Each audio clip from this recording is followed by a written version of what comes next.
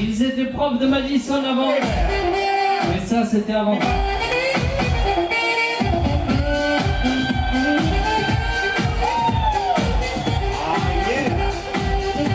Les baskets rouges moyen.